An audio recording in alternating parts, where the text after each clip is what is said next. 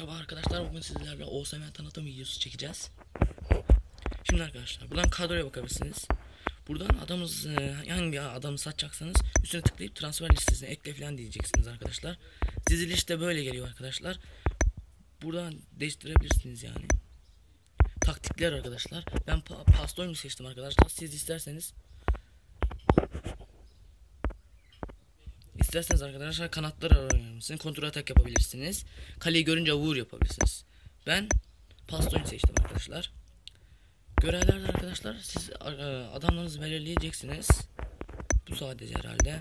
Antrenman diyorsunuz. Hangi adamı seç, şey, seçtikseniz o bir gün sonra falan antrenman oluyor arkadaşlar. Trans, transfer listesinden paranız yettiği kadar adam alabilirsiniz arkadaşlar. Karşıdan arkadaşlar e, gönderiyorsunuz. O size 3 tane adam gönderiyor arkadaşlar. Ben göndermiştim şimdi açtım arkadaşlar. Geldi arkadaşlar. Dostluk maçında takımınızın güçlenmesi için 4 e, sarı mavi yıl, şey vererek yapabiliyorsunuz. Burada maç maçınızın takvimi var arkadaşlar.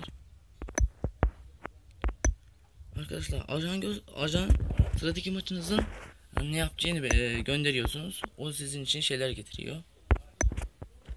Gizli antrenmanda arkadaşlar burayı e, iki tane korumanız koruyor yani arkadaşlar. Antrenman kaybında